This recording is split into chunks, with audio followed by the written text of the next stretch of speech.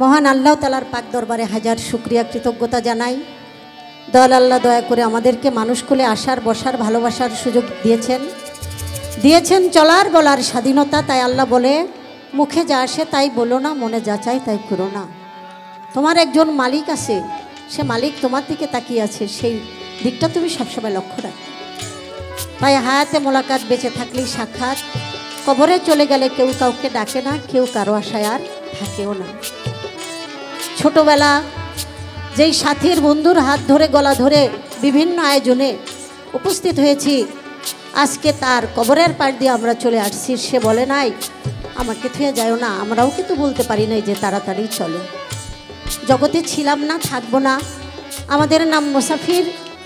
দুনিয়াদারের মোসামুসি ফুরায় গেলে ফিরে আবার মহান আল্লাহর দরবারে আমাদের পৌঁছে এই দিকটা যদি লক্ষ্য রাখি, তাহলে অবশ্যই আমার বলতে কোনো কিছু নাই। আমার নাম ফকির। ফকির মানে নিঃস্ব। আমি তো বিলুপ্ত যে করতে পারে সেই হয় ফকির। ফকির মানে নিঃস্ব, আর যে হয় নিঃস্ব সেই তো জয় করতে পারে বিশ্ব। যে হয় শূন্য সেই হয় ধন্য। তো আমি বলব যে নাকি মোহ মায়া ত্যাগ করতে পারে, তার নাম হলো তেগি আর তেগি হয় যোগী। আর ভুগি হয় রোগী। এজন্য বলা হয় খাদক কখনো সাধক হতে পারে না। তাই দয়াল আল্লাহ দয়া করে আমাদেরকে সর্বশ্রেষ্ঠ সৃষ্টিতে যারা হাবিব হজরত মোহাম্মদ মুস্তফা সাল্লাহ সাল্লামের উম্মত করে পাঠাইছেন, আমি সে দরবারে ভক্তি শ্রদ্ধা রাখি। আমলে বায়াত পাকপা জাতনের সম্মান, গুণগান অন্তর দিয়ে রাখব। বিশ্বের অলিয়া উলিয়া গাউস কুতুব সকল দরবারে ভক্তি শ্রদ্ধা রাখি। আমার মুর্শিদ কাবলা মাইজ ভান্ডার দরবার শরীফে বাবা শফিউল বসর মাইজ ভান্ডারি। বরিয়াবর দরবার শরীফ হাসিবুল হাসান রিজবি রহমতুল্লাহ এসে বাবার দরবারে ভক্তি রেখে আজকে আমি বাউল বিচার গানে আলেয়া বেগম আলো পালা গান শুরু করছি। আজকের আয়োজক বৃন্দ, মহান একটি উদ্যোগ, যে উদ্যোগের মাধ্যমে জীবন এবং অমরত্ব লাভ আমাদের মতো বাউল লোক সংস্কৃতিকের মধ্যে যারা অন্তর্ভুক্ত, তাদেরকে এত বড় মহতি একটি সভার মাঝে উপস্থিত করেছেন, এজন্য নিজেকেও মহান আল্লাহর কাছে ধন্য মনে করি। আজকে পালার মাধ্যমে শালম সরকার প্রথমে বলল যে একটা কাহিনী, এই কাহিনীটা হইল কাটা ঘাই নুনের ছিটা দেওয়ার মতো। শরীয়তলা নাকি নগদ পায়।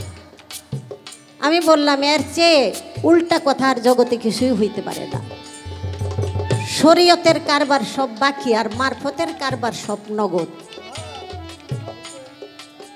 আপনারা জানেন মুসানবীর আমলে জুন পাগল। তার ঘটনাটি আপনারা সবাই কিন্তু জানেন। আল্লাহর কাছে এক রমণী, বন্দা রমণী বলেছিল, মুসানবীর কাছে প্রতিদিন তুমি হাজার সোয়াল করো মুসা।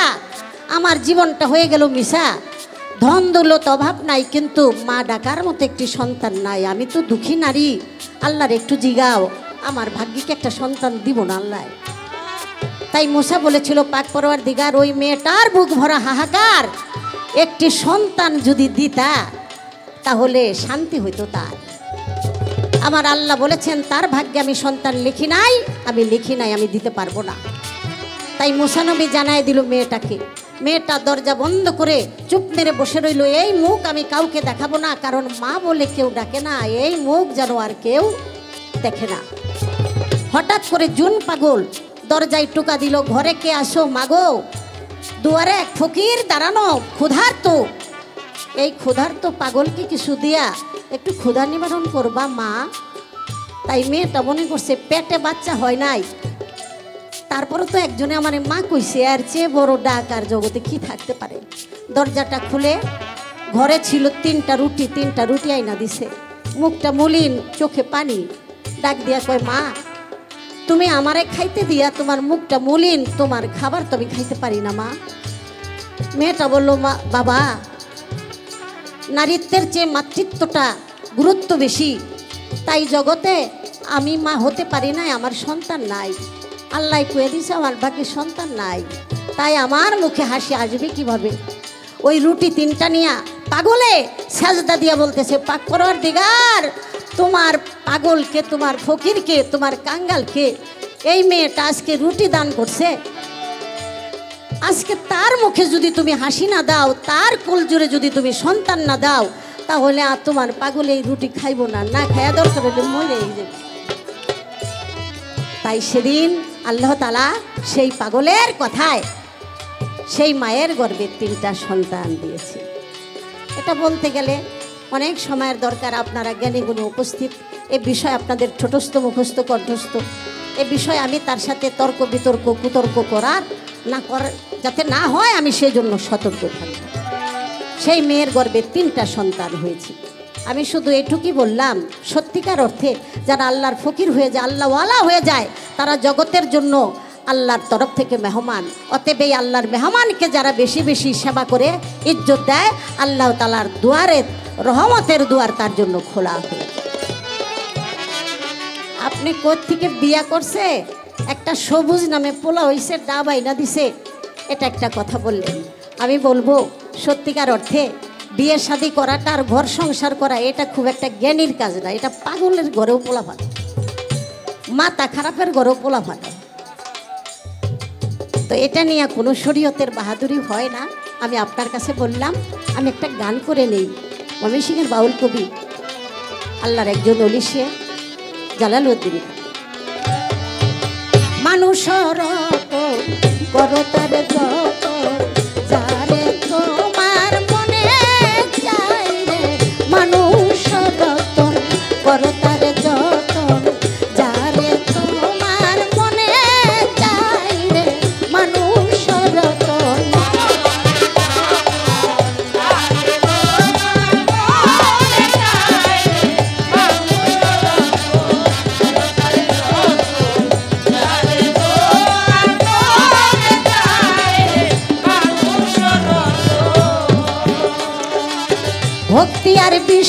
বিশ্বাস একাধারে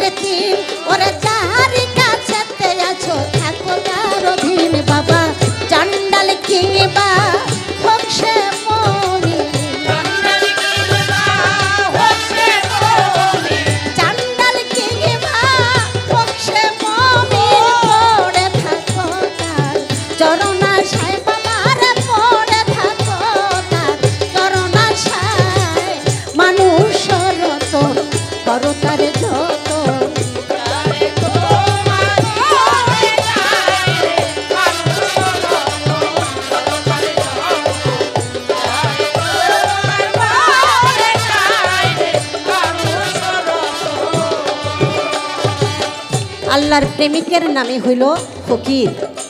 অতএব আল্লাহ প্রদত্ত প্রেম, আল্লাহ প্রদত্ত জ্ঞান যে অর্জন করেছে, আল্লাহর দুয়ার তার জন্য সবসময় খোলা। আপনারা জানেন বারোদির শ্রী শ্রী লোকনাথ ব্রহ্মচারীর যে গুরু, তার নাম বাবা গফুর শাহ। শ্রীরামকৃষ্ণ পরমহংসদেব, তার গুরুর নাম বাবা গেন্দু শাহ। গুরু নানকের গুরু বাবা বাহালুল দানা বাবা হরদের গুরু। বাবা মাহবুবিলাহি হজরত নিজামুদ্দিন আউলিয়া রহমতুল্লাহ অতএব আমি বলব যে এখন পর্যন্ত গুরুকরণ করে নাই, গুরু ধরে নাই, যে নাকি একজন পীর মুর্শেদ মাসায়েকের হাতে হাত রাখে নাই, সে কখনো মারফতের ধারে কাছে যাইতে পারে নাই। শুধু শরীয়তের কর্ম করেই আল্লাহকে লাভ করা কখনই যাবে না। তাই সাধক বলেছে মানুষেতে বিবাদ ঘটে মানুষে মিটাই গোল। এই মানুষেতে জ্ঞানার বুদ্ধি মানুষে করে ভুল বাবা।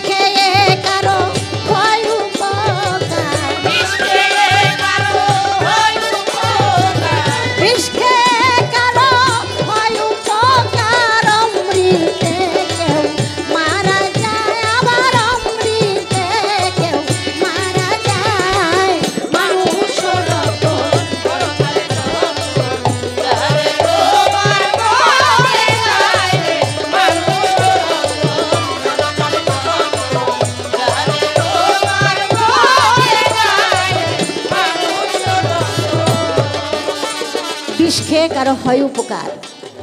সিলেটে হজরত শাহজালাল বাবা, মক্কা মুয়াজ্জেমা থেকে মুর্শিদের আদেশে মক্কার মাটি নিয়ে যখন সিলেটে আসতেছিলেন, ইয়ামিনে এসে চল্লিশ দিন সে আস্তানা গেড়েছিলেন তাই ইয়ামিনের বাদশাহ সুলতান যখন দেখল এক পাগল ফকিরের পিছে হাজার মানুষ ভিড় জমায়, তাই তার মনে তার সন্দেহ হয়, শেষমেশ আমার বাদশাহী নাকি শেষ হয়ে যায়। তাই শরবতের সাথে বিষ মিলাইয়া খাইতে দিছিল আমার শাহজালাল বাবাকে। শাহজালাল বাবা হাতে নিয়ে বলল, এত দামি শরবত ফকির তো খাইতে পারে না, ফকির পান করে না। বাদশাহ যখন দিছে, আমার আর কী করা? আমি এটা পান করে ফেলি। বিসমিল্লা বলে যখন ওই শরবতের সাথে বিষ মিশ্রণ শরবত মুখে দিল, কিছুক্ষণ চোখ বন্ধ করে রইল। ভিতর থেকে খবর আইলো, বাদশাহ সুলতান সাথে সাথে বিষক্রিয়ায় মারাই এটার নাম বলা হয় মারফত তাই আল্লাহ বলেন, আমার অলি উলিয়া আমার পাগল, আমার ফকির, দুনিয়ার মধ্যে কেউ যদি তাদের সাথে বিন্দু পরিমাণ শত্রুতা পোষণ করে, সে যেন তরবারই হাতে নিল আমার সাথে যুদ্ধ করার জন্য। এটা পাগলের প্রশংসা, পাগলের গুণগান। এটা ভুরি ভুরি আমি দেখাইতে পারব। এই ছন্দটার মধ্যে এই কথাটাই বলা হয়েছে। আপনি প্রশ্ন করেছেন, ফকিরি মারফত? এটা দেখাইছিল হজরত জুনায়দ বাগদাদি রহমতুল্লাহ আলাইহি, তার ভক্ত জিজ্ঞাসা করতেছে, ঘরে বসে মারফত কি, ফকিরি কি? তাই বলল, বাহির থেকে আসি।